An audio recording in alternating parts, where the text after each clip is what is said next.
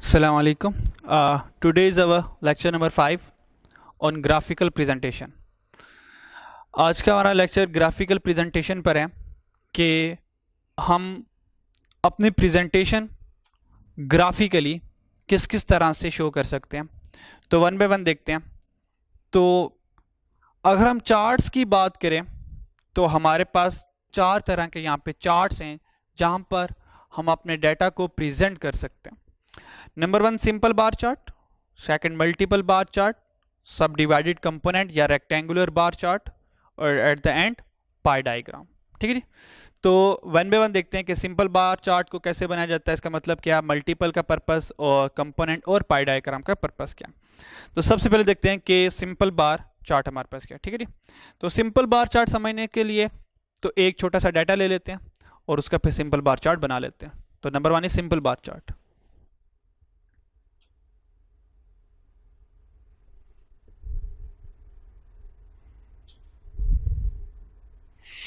simple bar chart में आ, हमारे पास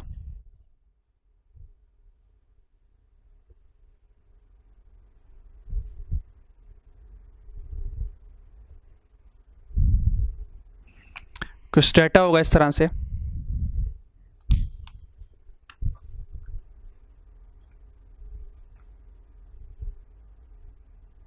यहाँ पे कंट्रीज़ और यहाँ पर अज्यूम करें उनकी पॉपुलेशन ठीक है? तो कंट्रीज़ में दो तीन बस कंट्रीज़ ले लेते हैं।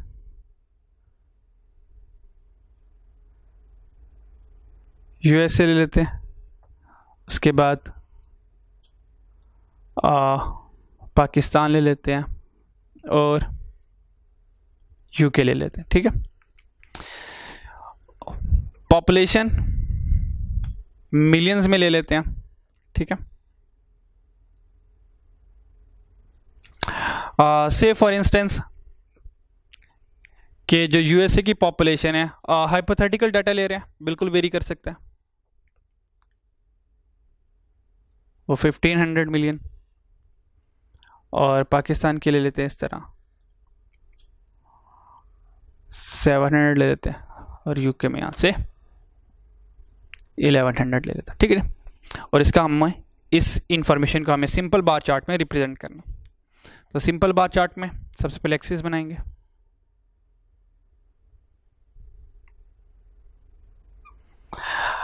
आ, ये हमारा एक्स एक्सिस है और ये हमारा वाई एक्सिस है। तो जो हमारा एक्स एक्सिस होगा उसमें हम अपनी कंट्रीज़ को ले लेंगे। तो यहाँ पे कंट्रीज़ आ जाएँगे।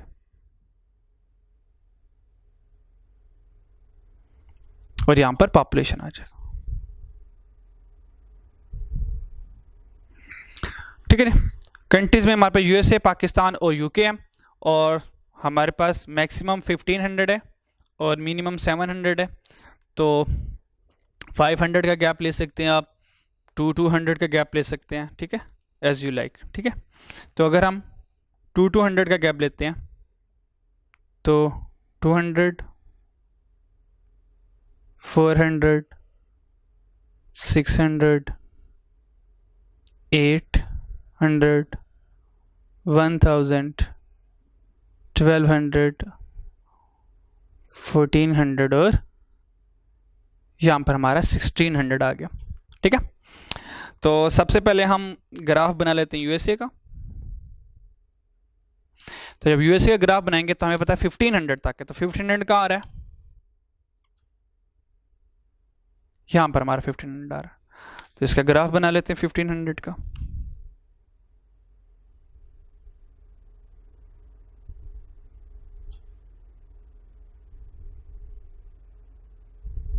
तो ये हमारे पास यूएसए का ग्राफ बन गया।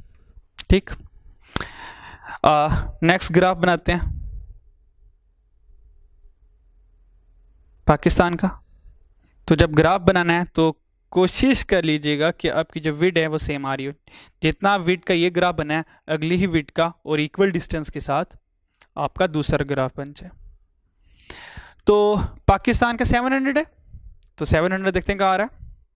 600 और 800 के इन बिटवीन 700 आ रहा है तो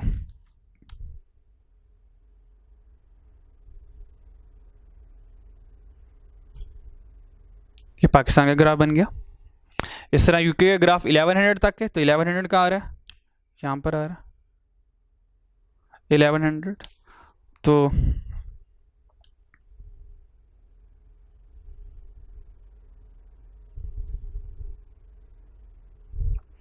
ये हमारे पास यूके का ग्राफ बन गया। तो ये जो सिंपल बार है, बस आपने इस तरह रेक्टेंगुलर सिंपल बार बनाने विद द गैप तो ये हमारे पास सिंपल बार है, ठीक है? तो जो सिंपल बार है, याद रखिएगा, ये जो बार की हाइट होती है, वो फ्रीक्वेंसी को डिनोट करती है। तो सिंपल बार में, याद रखिएगा, जो सिंपल बार है, वो रिप्रेजेंट करता है हाइट ऑफ़ फ्रीक्वेंसी याद रखिएगा simple bar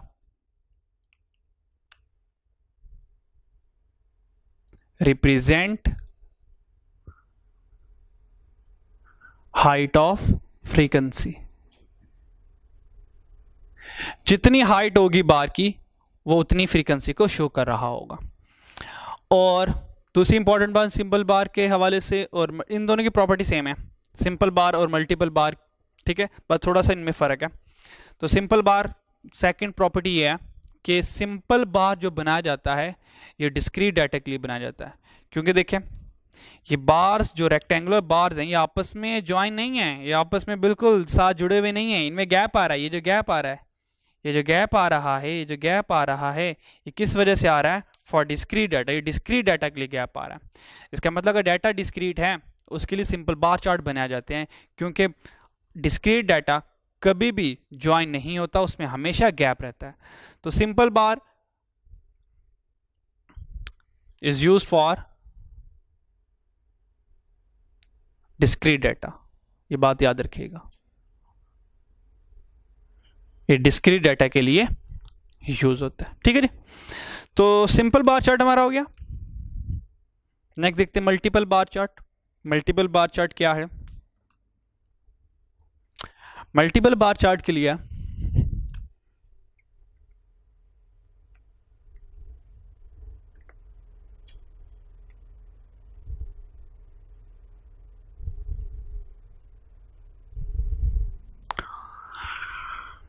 एक डाटा ले लेते हैं।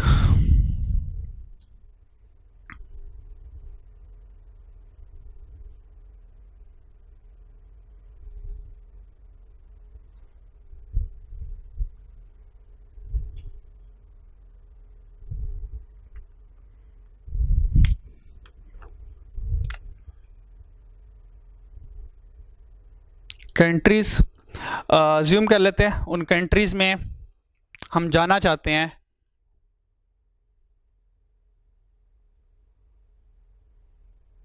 बर्थ रेट और डेथ रेट के बारे में। ठीक है आ, उन कंट्रीज़ में इन्हीं कंट्रीज़ को ले लेते हैं। यूएसए पाकिस्तान और यूके इन्हीं तीन कंट्रीज़ का बना लेते हैं। अज्यूम करें जो यूएसए में बर्थ रेट है से वो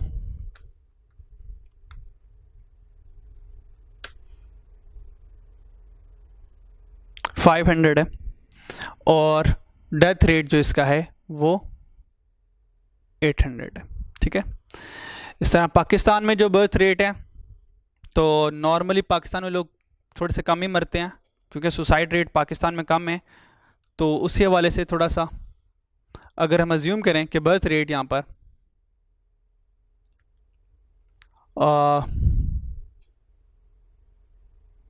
सेवन हंड्रेड है। तो डेथ रेट यहाँ पर अज्यूम कर लेते हैं से कि हमारा 250 है। ठीक है? ऐसा यूके में जो बर्थ रेट है वो ले लेते हैं 400 और डेथ रेट ले लेते हैं यहाँ पर उसका 500 ठीक है? मल्टीपल बार चार्ट में जब हम मल्टीपल इंफॉर्मेशन को एक साथ देखना चाह रहे होते हैं कंपैरिजन के लिए तो तब हम मल्टीपल बार चार्ट को यूज़ करते हैं। तो मल्टीपल बार चार्ट देखते हैं अब कैसे बनेगा।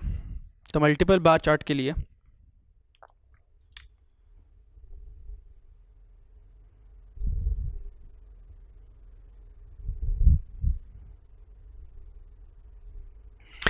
तीन कंट्रीज़ है हमारे पास यूएसए और पाकिस्तान और हमारे पास यूके ठीक है जी? मैक्सिमम देखिए हमारे पास वैल्यूज़ कहाँ तक जा रही है? मैक्सिमम कितनी? 800 तो ग्राफ मैक्सिमम 800 तक जाएगा और मिनिमम कितना? 250 तो 250 से स्टार्ट होगा। तो ठीक है 200 का इंटरवल ले लेते हैं। 200 400 600 और हमारे यहाँ पर आ गया 800 ठीक है? तो सबसे पहले यूएसए का ग्राफ बनाते हैं। तो यूएसए में हमारे पास ये यूएसए की हमारे पास वैल्यूज़ हैं। यूएसए में जो बर्थ रेट आ रहा है, वो 500 आ रहा है। तो 500 के लिए तो हम यहाँ पे की दे देते हैं कि जो बर्थ रेट है उसको हम ब्लू बॉक्स से शो कर रहे हैं और जो डेथ रेट है, उसको हम ब्लैक बॉक्स से शो कर रहे हैं। तो बर्थ रेट के लिए ब्लू बॉक्स है तो हम ब्लू मार्कर से बना लेते हैं। और बर्थ रेट 500 है तो हम 500 ये दिस इज़ 500 तो हम यहाँ पे एक ग्राफ बना लेते हैं, ठीक है जी?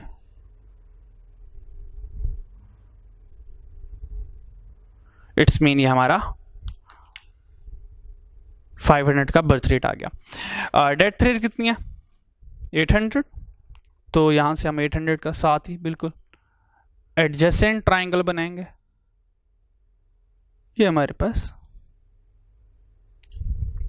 यूएसए ग्राफ बन गया। अब ग्राफ देखते में पता चल रहा है कि जो यूएसए में बर्थ रेट है वो 500 है और जो डेथ रेट है वो कितना है? 800 ठीक है? इस तरह पाकिस्तान का ग्राफ बनाते हैं। बर्थ रेट 700 है। दिस इज़ 600 और 700 हंड्रेड यहाँ पर आएगा।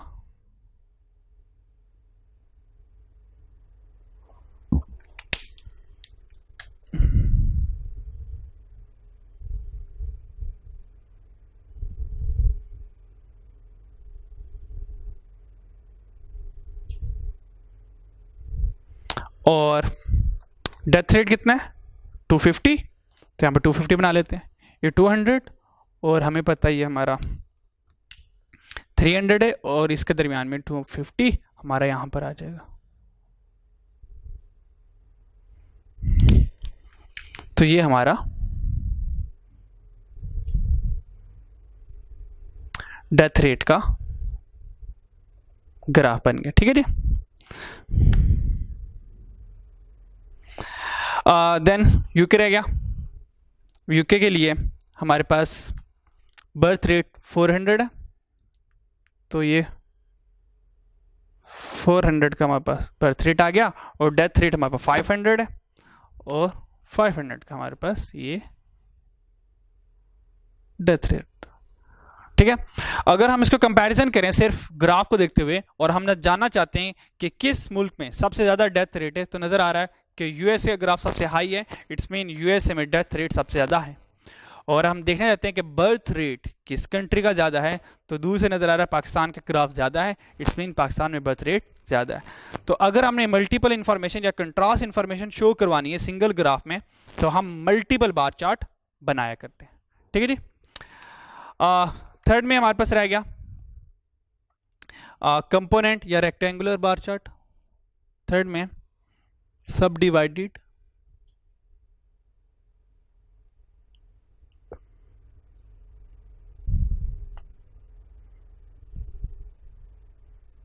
कंपोनेंट बार चार्ट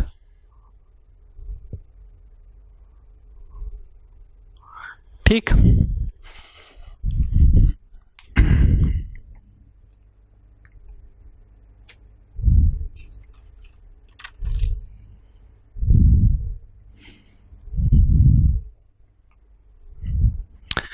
सब डिवाइडेड कंपोनेंट बार चार्ट के लिए, हम एक डाटा लिख लेते हैं।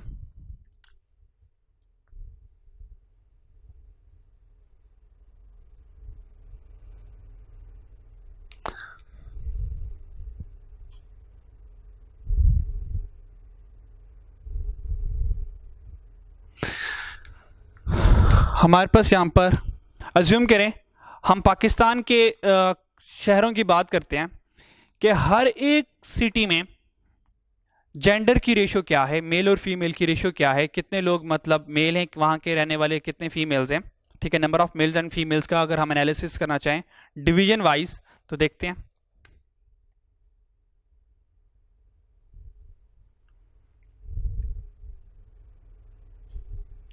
ठीक है? और जेंडर में हमारे पास मेल और फीमेल आ जाएँगे।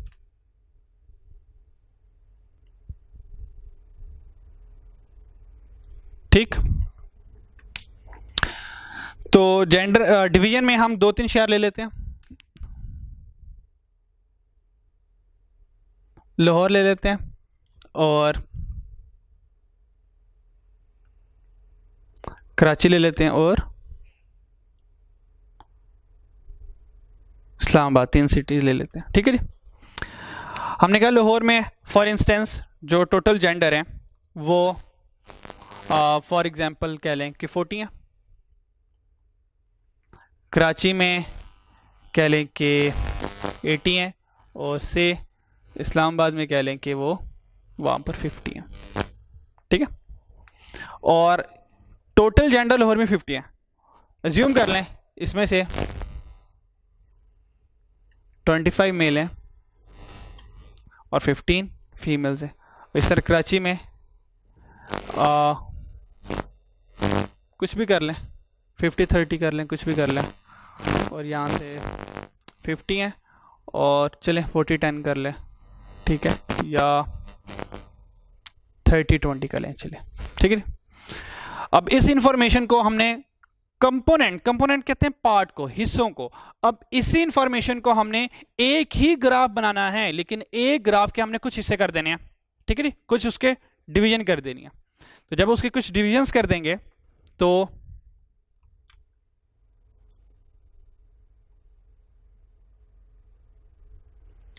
एक्स एक्सिस पे हमारे पास डिवीज़न आ जाएगी, यानी कि लाहौर डिवीज़न आ गया। और यहाँ पर हमारे पास कराची आ गया। और यहाँ पर हमारे पास इस्लामाबाद आ गया। ठीक है जी? तो सबसे पहले जो ग्राफ बनाना है, वो कंप्लीट ग्राफ बना लेना इन जेंडर्स का 40 80 50 इट्स मीन मैक्सिमम हमारे पास 80 है तो हम 10 10 के इंटरवल बना लेते हैं. 10 20 30 40 50 60 70 एंड 80 बना ठीक है जी? तो टोटल जेंडर कितना है? हमारे पास 40 है तो हम 40 का ग्राफ बना लेते हैं सबसे पहले. ठीक है?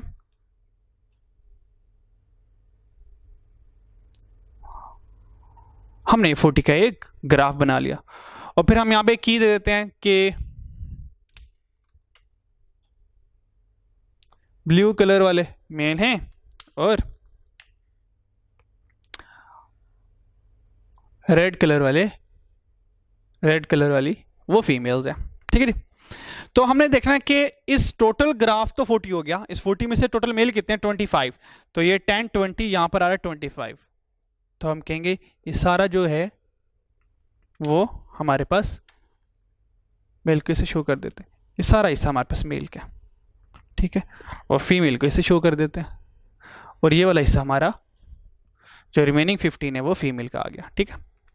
तो इसको कहते हैं कंपोनेंट बार चार्ट कि हमने एक ही चार्ट के हमने कुछ कंपोनेंट बना दिया। अगर यहाँ पर एक और इन्फॉर्मेशन हुई थी तो हम इसके तीन हिस्से कर देते। ठीक है जी? जितनी मल्टीपल इन्फॉर्मेशन आ गई, अगर मल्टीपल इन्फॉर्मेशन को सिंगल ग्राफ में शो करना है, उसका नाम सब डिवाइडेड क्योंकि हमने अपने ग्राफ को सब डिवाइड कर दिया, या उसके कंपोनेंट्स बना लिए।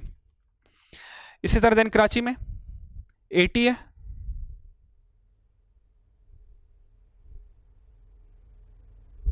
टोटल ग्राफ एटी का बन गया। और टोटल मेल कितने? फिफ्टी है। इट्स मीन ये सारा हिस्सा मेल का आ गया और हमारे पास ये सारा हिस्सा फीमेल्स का आ गया। ठीक है जी? इस तरह सेम इधर के इस्लामाबाद। टोटल फिफ्टी का ग्राफ है। मेल कितने? थर्टी और फीमेल्स हमारे पास रिमेनिंग यहाँ से अब ट्वेंटी रहेगी ठीक है? तो ये तो हमारा सब डिवाइडेड कंपोनेंट बार चार्ट ठीक है? तो नेक्स्ट हमारा पाई डायग्राम रहेगी। पाई डायग्राम को देख लेते हैं अब।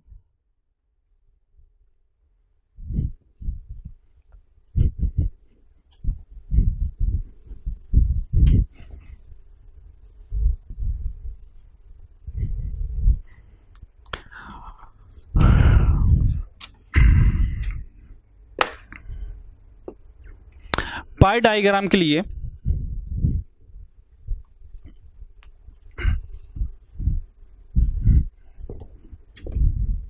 हमें एक डाटा लेना पड़ेगा। फॉर एग्ज़ाम्पल हमारे पास दो फैमिलीज़ हैं family A family B family A और फैमिली बी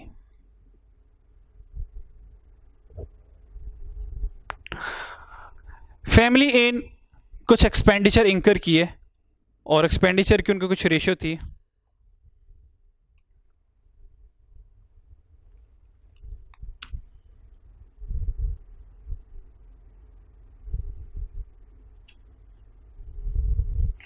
फ़ूड और यहाँ पर उनका एक्सपेंडिचर था।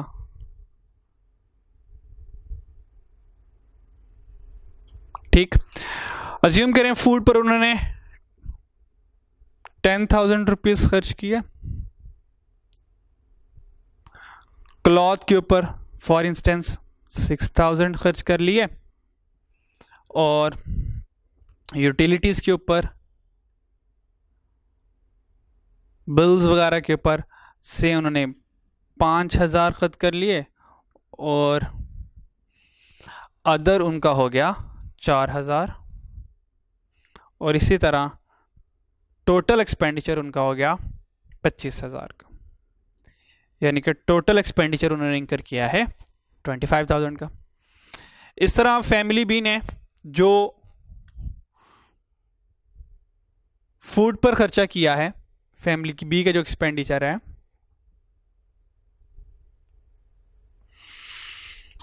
उन्होंने फ़ूड पर खर्च कर लिया ट्वेल्व थाउज़ेंड क्लॉथ पर, एट थाउज़ेंड यूटिलिटीज पर, सिक्स थाउज़ेंड, और अदर्स पर उन्होंने कर लिया फोर थाउज़ेंड। और इस तरह फैमिली बी का जो एक्सपेंडिचर बन गया ट्वेंटी और ट्वेल्व और एट ट्वेंटी और टेन थर्टी थाउज़ेंड बन गया। तो फैमिली बी ने एक्सपेंडिचर इंकर किया अपना थर्टी थाउज़ेंड का। ठीक है जी? हम करते हैं इसको आप पाई डायग्राम। ठीक है? तो जब हमने इसकी पाई डायग्राम बनानी है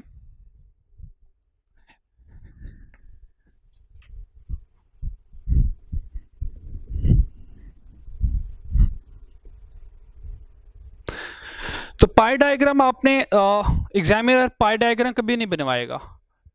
वो डायग्राम बनी बनाई दे देगा, वहाँ से कुछ क्वेश्चन सॉल्व करवा लेगा आपसे। ठीक है? कुछ थेरी के क्वेश्चंस पूछता है कभी डायग्राम बनाने के लिए, कभी भी नहीं किया। ये जितनी भी मैंने आपके साथ डायग्राम शेयर किए हैं, जितनी मैंने बनाई हैं, आपको एग्ज़ाम में एक भी डायग्राम नहीं बनानी आपको सारी डायग्राम्स बनी बनाई आएँगी, बस उन डायग्राम को एग्जामिनर शो करके कुछ क्वेश्चन पूछ लेगा आपसे। जैसे कि वो सिंपल बार चार्ट का गिवन करेगा, वो ये कहेगा कि इसके बार्स क्या, इसकी जो हाइट है वो क्या रिप्रेजेंट करते हैं, आपने कहना फ्रीक्वेंसी रिप्रेजेंट करते हैं। फिर वो ये पूछ लेगा कि जो सिंपल बार चार्ट होता है ये कॉन्टिन्यूस डाटा के लिए बनाया जाता है डिस्क्रीट डाटा के लिए बनाया जाता है? आपने कहना डिस्क्रीट डाटा के लिए बनाया जाता है, ठीक है? इस तरह के कुछ क्वेश्चन पूछेगा। क्योंकि अभी हम फ्रॉम द स्क्रैच सीख रहे हैं, इसलिए मैं सारी सारी डायग्राम्स खुद बना रहा हूँ ताकि अंडरस्टैंडिंग हो जाए बींग स्टैटिस्टिक स्टूडेंट कि ये चीज़ें कैसे शो हो रही होती हैं। अगर हमें फैमिली और फैमिली बी का पाई डायग्राम बनानी है तो हमें पता है जो पाई डायग्राम होती है, एक सर्कुलर शेप होती है। और सर्कल का जितनी भी वैल्यूज़ आती हैं, सारी सारी एंगुलर होती हैं। इट्स मीन हमें अपनी इन सारी वैल्यूज़ को एंगल में कन्वर्ट करना पड़ेगा। और एंगल में कन्वर्ट करने के लिए हमें सर्कल के एंगल का फॉर्मूला अप्लाई करना पड़ेगा, ठीक है तो सारी के सारी इन वैल्यूज़ को, क्योंकि हमें पता है कि जो सर्कुलर शेप होती है, वो डिग्री में होती है एंगल में होती है तो हमें अपनी सारी वैल्यूज़ को किसमें कन्वर्ट करना पड़ेगा? एंगल में कन्वर्ट करेंगे। तो आए सबसे पहले इनको एंगल में कन्वर्ट करते हैं, ठीक है?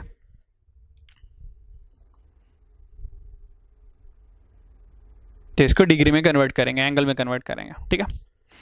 तो डिग्री में कन्वर्ट करने के लिए जो हमारे पास फॉर्मूला होता है, वो ये होता है कि given amount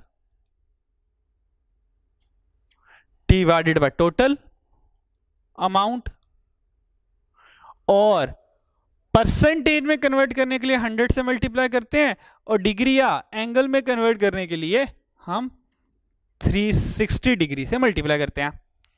तो जैसे हम ये इक्वेशन अप्लाई करेंगे, हमारी सारी की सारी वैल्यूज़ डिग्री में कन्वर्ट हो जाएँगे, ठीक है? तो ठीक है, आए अप्लाई करते हैं इनको। तो ten thousand divided by twenty five thousand into three sixty degree, ठीक है? तो हमारे पास आंसर आ गया। 144 डिग्री। ठीक है? इस तरह नेक्स्ट 6000 25,000 इंटू थ्री सिक्सटी तो ये आंसर आ गया 86.4 है। तो 86.4 तो इसको मैं राउंड ऑफ़ कर देता हूँ। 86 पर ले जाता हूँ। ठीक है? तो मैं राउंडिंग कर रहा हूँ ज़रा। Next five twenty five into three sixty five divided by twenty five into three sixty तो सेवेंटी टू डिग्री आ गया। ठीक है जी? तो नेक्स्ट मेरे पास four thousand into twenty five thousand into three sixty degree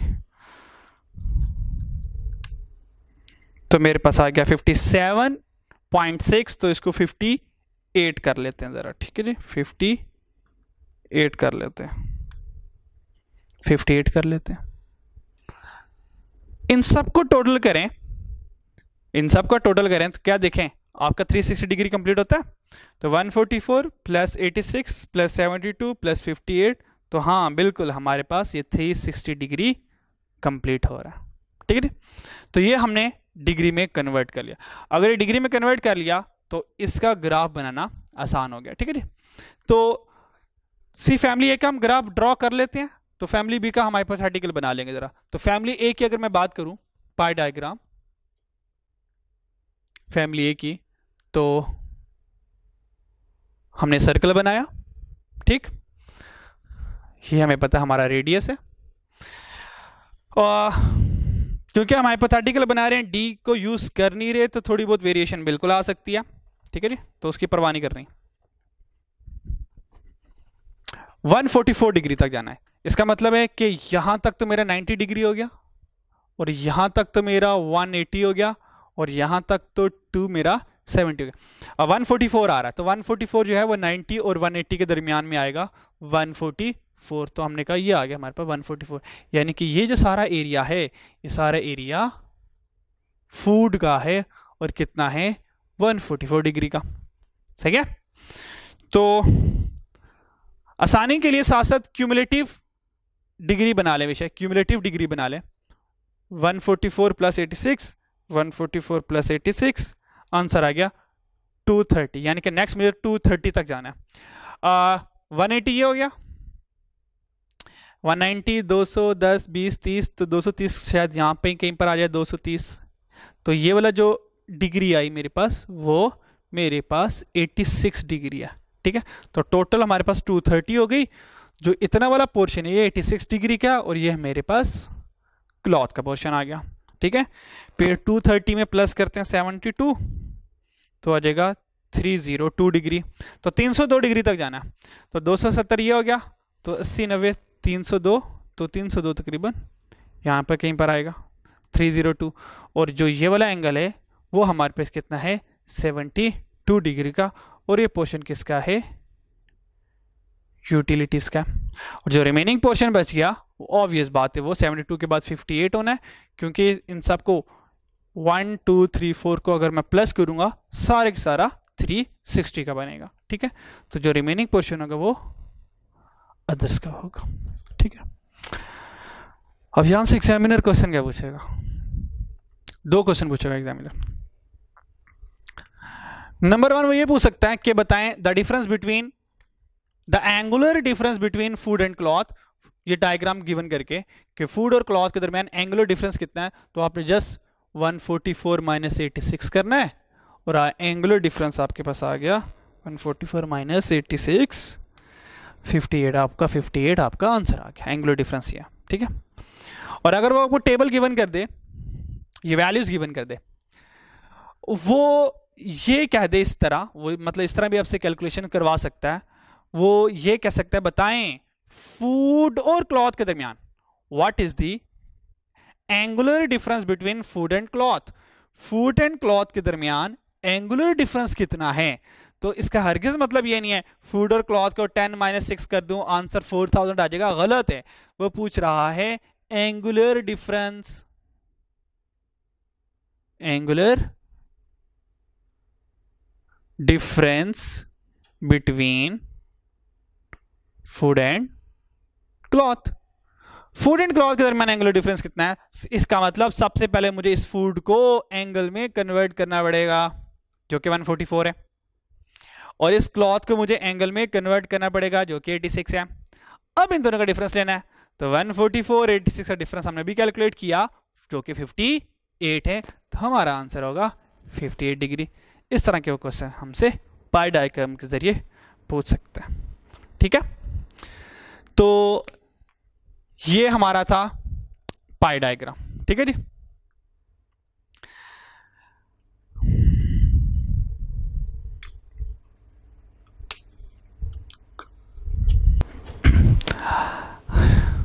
तो ये तो हमारा पाई डायग्राम थी, ठीक है?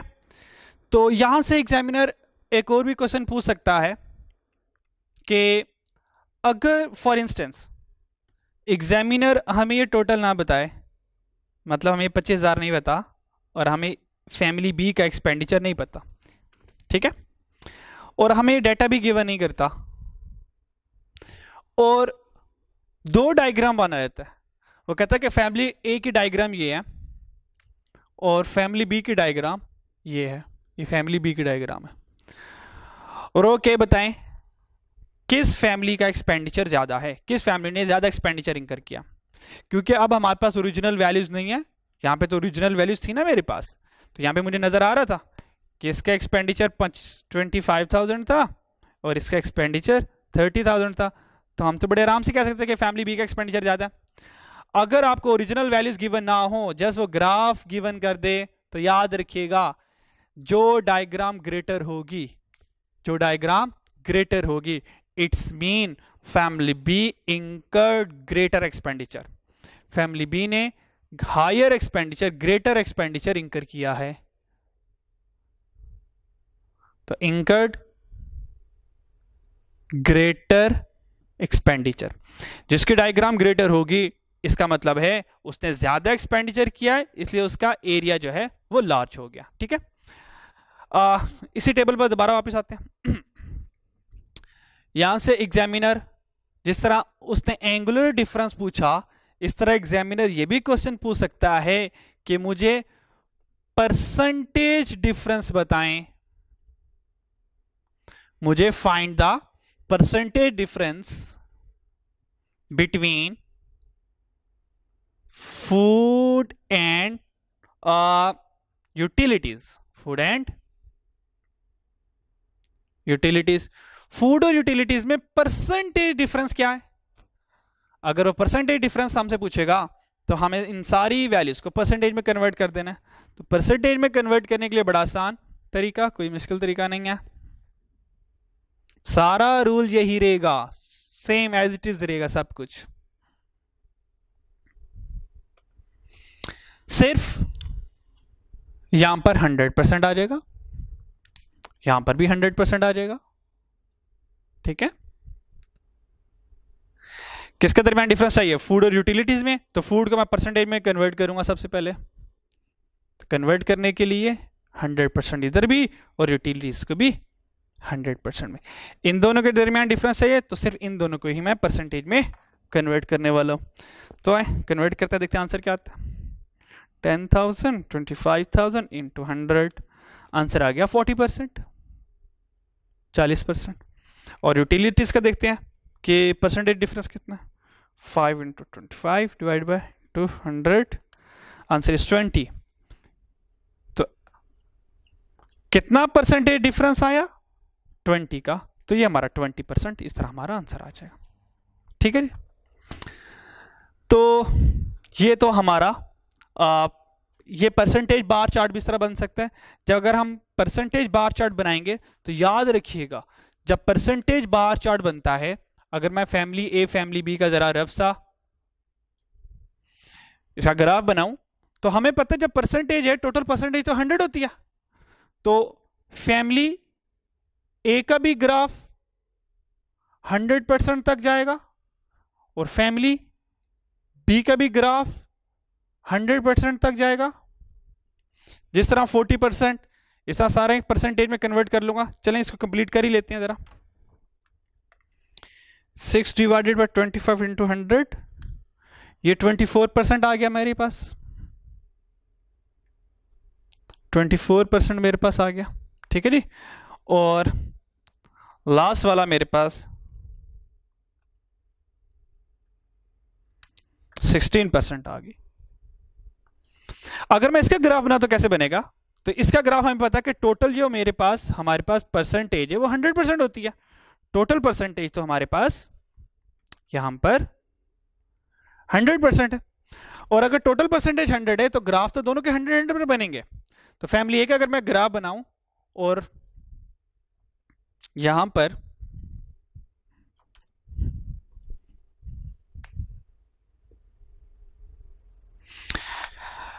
टेन टेन का गैप ले ट्वेंटी का ले ले। ट्वेंटी फोर्टी सिक्सटी एट्टी और ये हंड्रेड हो गया, ठीक है जी? तो नंबर वन फोर्टी था तो फोर्टी तक, इसका मतलब ये फ़ूड सेक्शन है, ठीक है? और उसके बाद ट्वेंटी फोर तो forty plus twenty four sixty four हो गया। सिक्सटी फोर तक ये हमारे पास क्लॉथ सेक्शन है। फिर उसके बाद ट्वेंटी यानी कि नाइन्टी तक ये हमारे पास यूटिलिटीज़ का सेक्शन है और एट द एंड हमारे पास ये अदर है। तो ये जो ग्राफ बनता है, इसको कहते हैं परसेंटेज